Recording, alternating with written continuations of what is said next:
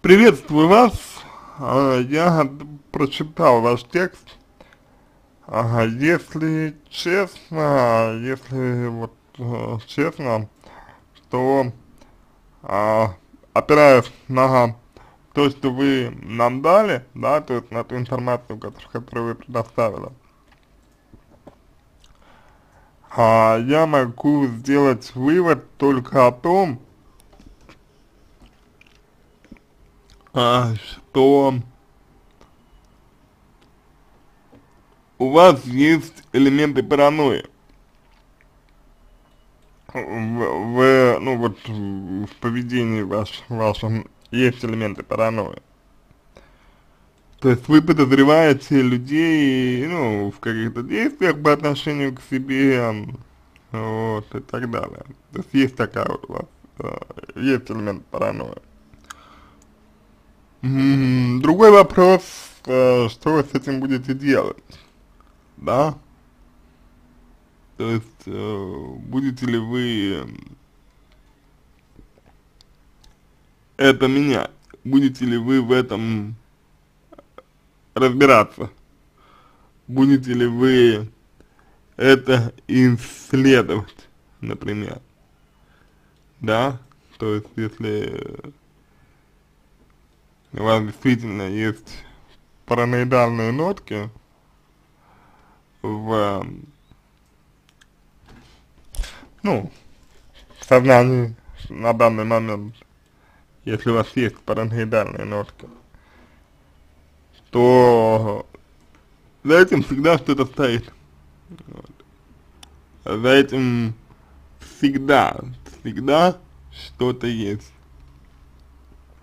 И мне думается, что э, начать, начать нужно именно э, с определения того, что конкретно вас задевает в этих людях. То есть совершенно очевидно, да, что люди сами по себе, они вряд ли преследуют цель а, вас ну, как-то унизить, задеть, обидеть и так далее. Вот. Сами по, по себе люди вряд ли преследуют такую цель, сами по себе. Но, то, что вам так кажется, то, что вы, то, что вам, э, ну, то, что вы так это воспринимаете, ну, вот, это уже вопрос куда более э, серьезный, куда более важный. Вот. И за, за этим, э, скорее всего, за этим что-то есть. Скорее всего, за этим что-то есть. Вот. Поэтому здесь я рекомендую вам просто поисследовать свои переживания. Вот вы говорите, ком ком компрометирующее что-то есть вот, вы пишете, э, что именно, в чем компрометируете, что вы пытаетесь скрыть, от чего вы пытаетесь убежать, вызывающее раздражение, значит, что именно вас раздражает, какие чувства пробуждают, да, то есть, э, давайте возьмем, возьмем ответственность, личную ответственность, аноним за то, что с вами происходит, да, вот, затрагивающее прошлое, как будто специально подобрано. Ну, очевидно, что в прошлом остались какие-то вещи, которые вас э, сейчас, вот на данный момент волнуют, беспокоят, и э, вы, соответственно, вы, соответственно, не можете от этого никак э, избавиться, вы не можете от этого освободиться, вас это беспокоит, вас это, возможно, даже мучает, возможно, даже вас это, вас это мучает, вот, и, соответственно, можно говорить о том, что вот это и является тем, э, с чем нужно работать. То есть это вот является тем, но то нужно обратить внимание не на людей, да, не на людей, которые вот, ну,